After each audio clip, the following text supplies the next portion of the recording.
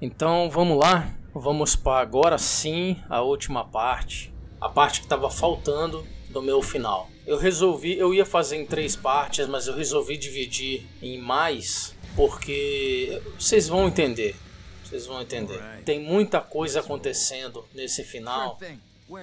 E eu não estava esperando a, a, questão do de eu virar o, o, Johnny Silverhand, né, o construto do Johnny com partes do V. Então eu eu quis dar bastante foco nesse nesse pedaço aí. A gente continua aqui com o Steve, o menino. A gente foi lá, levou ele numa, numa loja de guitarra, demos algumas aulas sobre o que é um, um bom instrumento musical, né? no caso a guitarra. Então, mais uma influência positiva. É, quando ele disse que ele não acredita que ele poderia ser um, um roqueiro tão bom quanto Johnny Silverhand e outros, a gente colocou na cabeça dele que muito vai de treino e muito vai da fé que a pessoa tem em si mesma, como isso é importante. Aliás, essa lição é tão importante, mas tão importante que só quem não tem nenhuma fé em si mesmo e de alguma forma entendeu a importância disso e está trabalhando isso em si mesmo, é capaz de perceber a, a força das palavras do, do, do Johnny para aquele menino. Né? Isso é uma coisa que a vida vai ensinando com muitos anos a maturidade vai trazendo, a experiência de vida vai trazendo. É papo de velho. Beleza.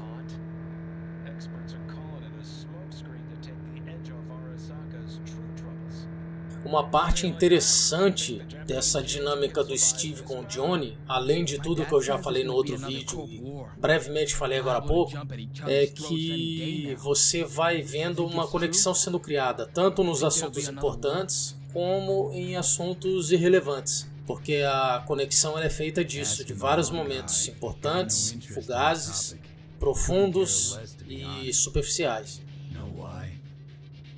Mas o legal aqui, a parte mais legal é isso, ó, é você reparar a cidade. Eles estão dirigindo pela cidade. Eles estão dirigindo em vários pontos da cidade. Isso é maneiro. E não só a, a, cidade que é maneira, mas até o, até o Johnny, né, no meio da conversa com o Steve e o próprio Steve, eles vão falar a respeito disso. De como essa cidade é incrível. Ela não é e é ao mesmo tempo, né? Porque ela tem muita coisa feia, mas ela tem muita coisa linda. E eu, acho isso. Isso é um dos pontos. Já, nossa, quantas vezes eu já falei na minha própria análise. Inclusive, eu vou fazer uma análise do Cyberpunk. Eu vou fazer. Eu terminei o jogo, fiz a minha análise no Steam. Eu queria ter escrito mais coisas, o Steam limita um determinado número de caracteres.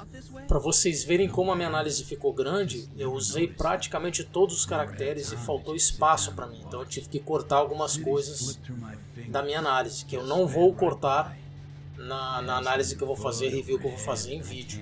Pô, mas vai fazer análise agora, depois de não sei quantos meses. Mas é assim que é, né? A gente joga, a gente fecha a história, a gente curte a maior parte do que o game tem a oferecer, para depois a gente fazer análise.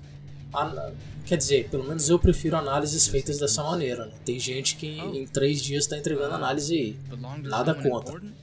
Eu não, eu prefiro curtir, consumir bem a história para depois poder dar o meu feedback.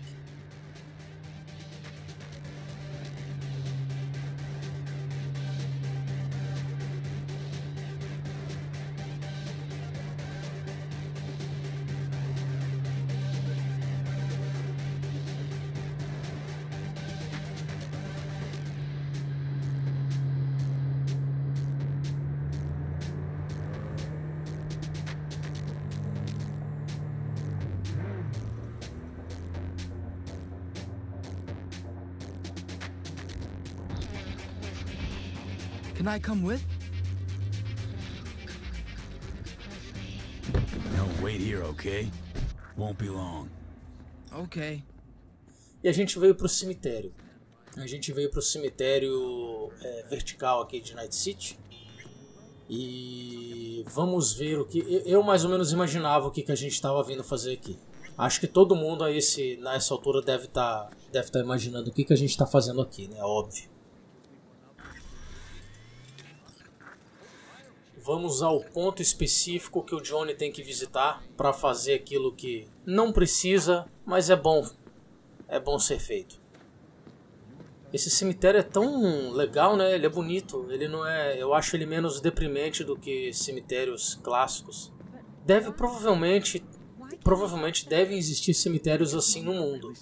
Né? A gente conhece os cemitérios clássicos brasileiros de, de cidades de médio porte, de grande porte, até de pequeno porte. Mas esse tipo de cemitério eu acredito que exista no mundo, sim. Tô dizendo acredito que exista porque eu nunca vi, né? mas eu tenho, tenho quase certeza que existe.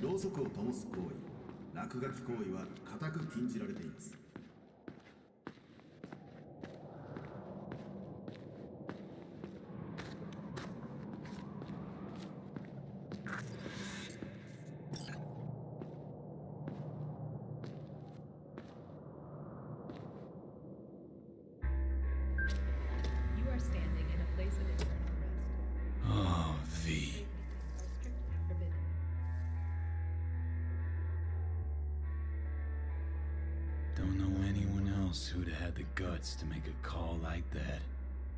Not a soul. Can't carry this around anymore, you know?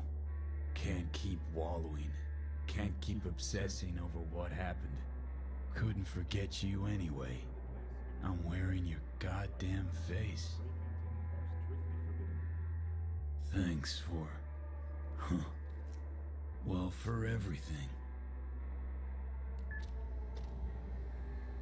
Rapaz, que. I'm wiser now. And I don't plan to waste it.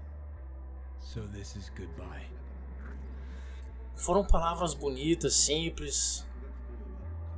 Vê sonhador. É aquilo que eu falei, é uma sensação de doce amargo, né?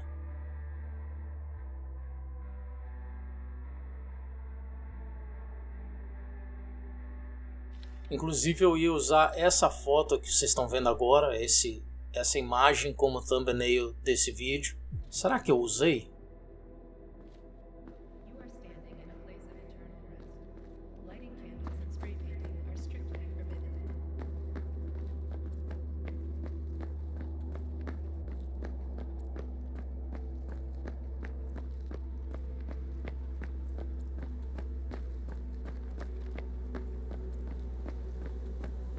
É, a sensação de doce amargo que eu digo é isso. É isso. E agora eu vou falar com o Steve. Where to now? Hey, hey, what's this? Want one? Gave all that up. So should you. Bad for your body, bad for your soul. Where to now? Hmm. I got a bus to catch.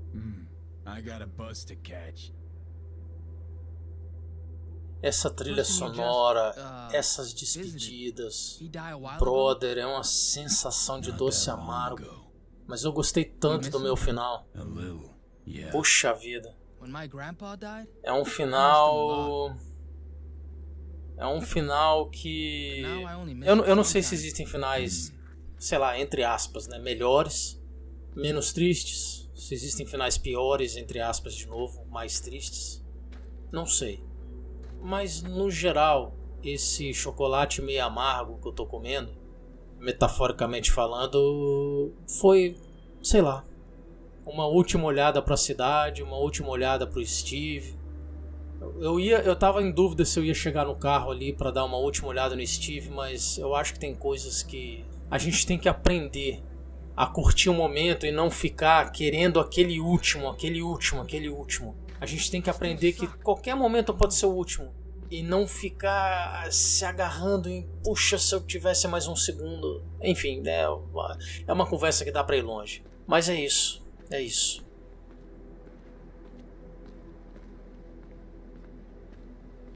Olha que irado esse final.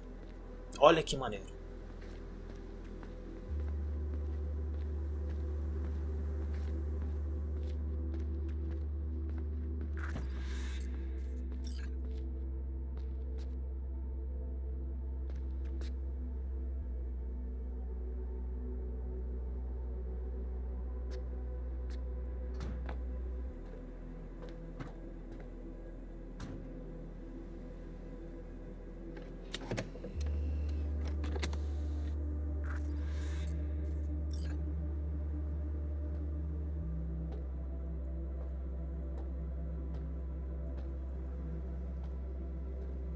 Tá vendo que tem alguns probleminhas com a legenda? Eu acho que poderiam ter investido em, em tradutores profissionais. Mas, vamos lá, fazer crítica agora não. Cutscene. Ah, CD, por que vocês não usaram mais cutscenes no jogo? Que pena. Mas é isso aí, ó. Johnny. Olha, olha que massa. Stop the bus! Hey! Get off! The guitar! You forgot your guitar! No, I didn't. Olha que foda, cara. Não é de partir o coração isso. Haven't forgotten a thing. Never will. A gente comprou uma guitarra foda pro menino. Eu tava desconfiado quando a gente entrou na loja, que ele fez a afinação e deixou o menino tocar um pouquinho, depois ele falou: "Me dá minha guitarra aqui". Eu ainda assim tava desconfiado, ele vai dar essa guitarra pro Steve. Muito bom. Vocês não imaginam a tristeza e alegria misturadas que eu senti nessa cena. Muito, muito bom.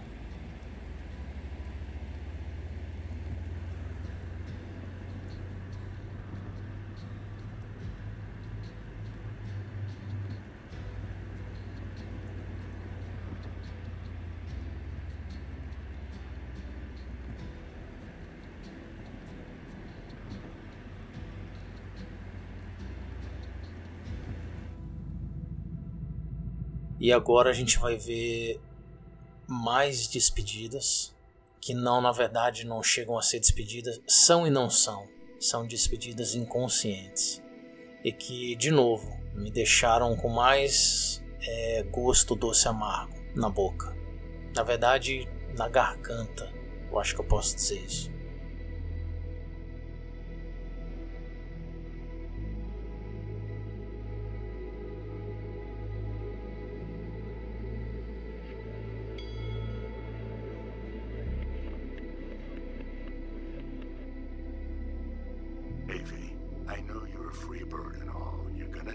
What you want when you want.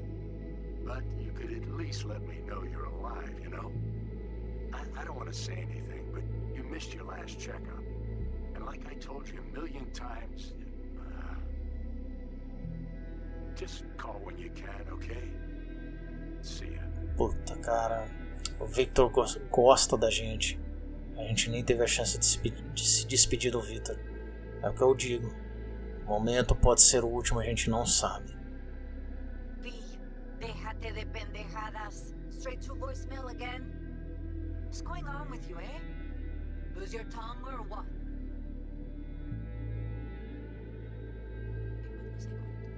Ah, sí, claro. Bueno, I wanted to tell you I, I'm cooking a supper on Sunday for Jackie's birthday. All his favorite food? Chilaquiles, tamales. If I could get some real corn, uy, maybe even elote. It'd be nice if you could come over. Think about it. Cuídate, amorcito. Take care, love. Mama Wells. Olha o jeito que ela trata a gente. Pô, cara, tem NPCs tão legais nesse jogo. Tão legais.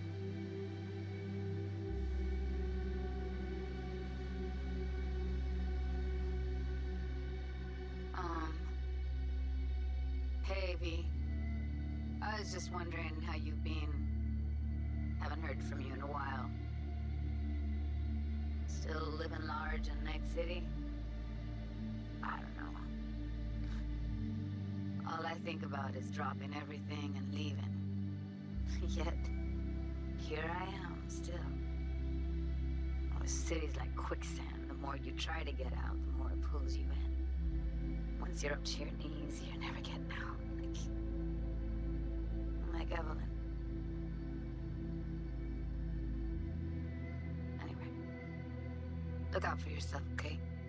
And call me sometime. Bye. Mais um adeus a Judy. A gente teve um momentos interessantes com ela também. Really? You're just gonna avoid me? Of course you would, you fucking coward. Here's a bit of advice for you, Johnny. Enjoy your new lease on life, because it's not gonna last long. I'm serious. Believe me when I say I'm going to find you, you fucking psychopath. Wherever you're hiding. And when I do, I'm gonna rip V out of your head. Don't ask me how, but so far I'm counting on sheer will. You know what you are, Johnny? A parasite. A fucking tapeworm. You hear me? E a Penem, uma das poucas que sabe a verdade, né? Que é o Johnny, não vê.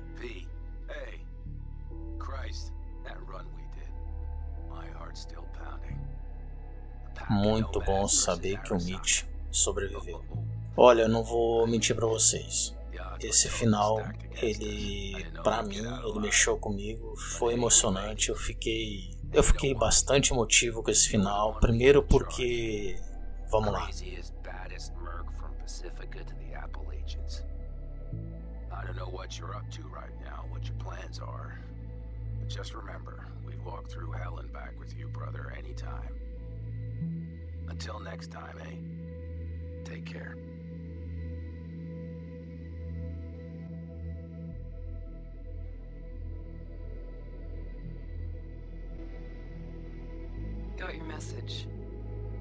Johnny, look. I've been around long enough to know that anything is possible in your fucked up world. But I never imagined this, even from you. You must have made a pretty big impression on V for getting him on board with this, so hats off. I'm just wondering how you feel about that, Johnny.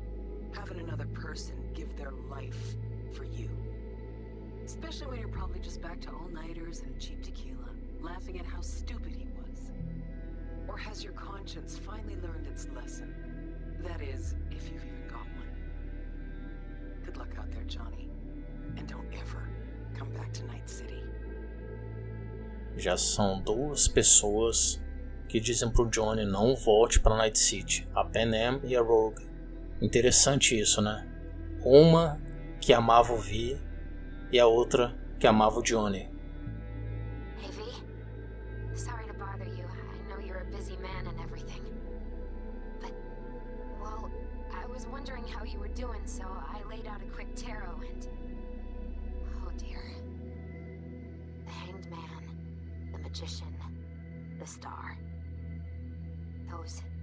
Those are not good cards, V.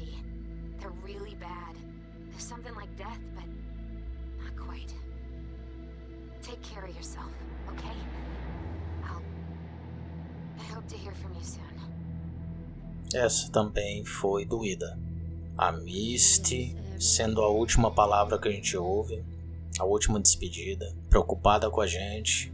É, foi uma jornada de muitos anos esperando o jogo.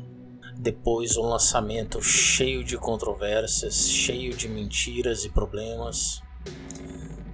Um lançamento em que algumas pessoas puderam aproveitar o jogo, puderam é, curtir o game enquanto outras não.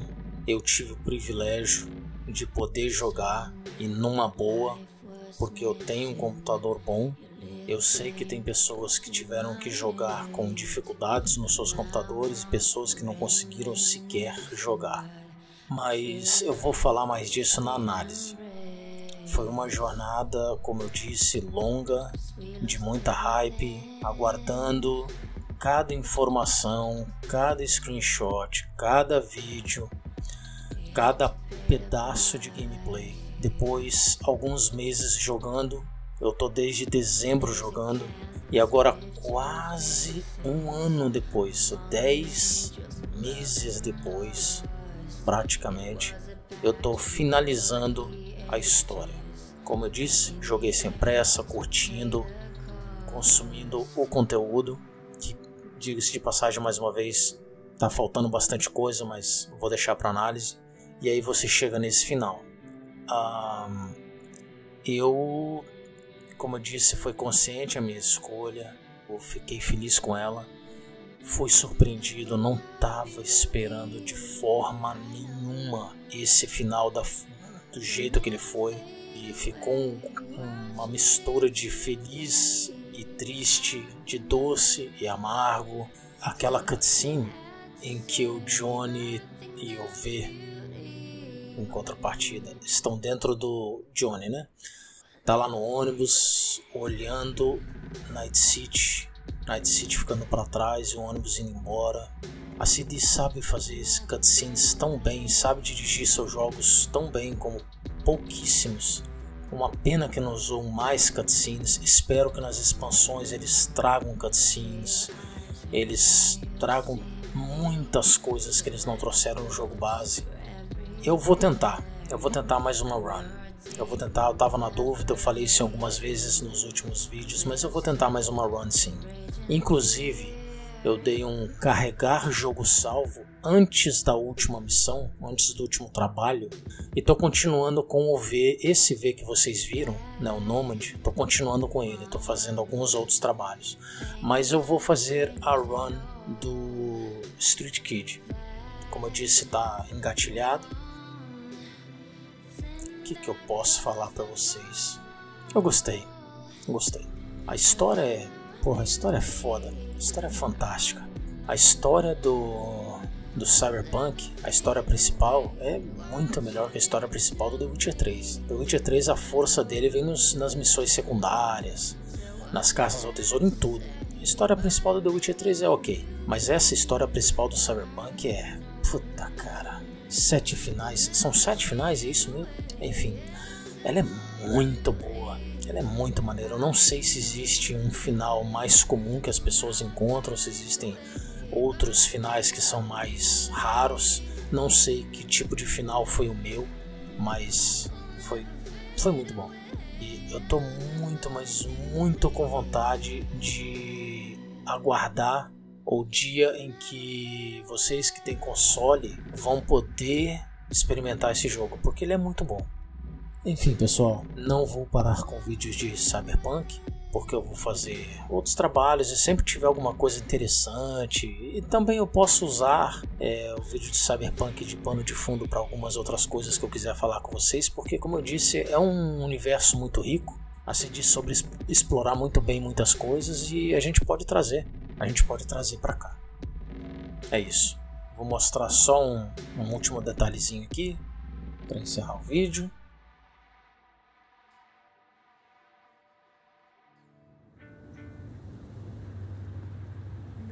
E aqui nós estamos. Depois que a gente vai embora, o jogo, ele, olha só, as recompensas, né, que a gente ganha na mochila depois de concluir a história principal, é uma chave para acessar aquele apartamento novo, jaqueta de aldecaldo, é, enfim, um, um, um saberware lendário e mais dois saberwares lendários, né? E é isso, a gente volta, a gente volta para Night City com esse equipamento e tal, com o nosso dinheiro e para vocês continuarem jogando, né? Eu, eu não sei na verdade se eu continuar jogando depois de ter concluído a história principal, se vou continuar conversando com o Johnny, como eu provavelmente é normal, né? Acho que acho que continua normalmente. Eu não sei se nós vamos ter um segundo final depois de ter o final. Eu acho que a gente algumas alguns trabalhos ficam travados e a gente só, enfim, continua fazendo os trabalhos que a gente ainda, enfim, deixou para trás e tal. Mas eu eu eu tô fazendo só umas coisinhas com esse personagem, como eu disse, eu fiz um carregamento antes do trabalho final, né, como se eu não tivesse finalizado o jogo. E tô fazendo uns trabalhozinhos que eu acho que eu preciso fazer. A dica do Kazumi, valeu Kazumi, para que eu procurasse trabalhos com o com o Johnny Silverhand, né, os trabalhos do Johnny. Eu tô fazendo os trabalhos do Johnny e realmente eu não sei por que, que eu não fiz antes. E, e é isso. E daí eu vou pro Street Kid. Mas, poxa, foi uma jornada, foi uma jornada muito legal. Valeu a pena. Valeu a pena cada minuto investido nesse jogo e cada centavo gasto na pré-compra. É isso, pessoal. Um abraço. Deus abençoe. Até o próximo vídeo.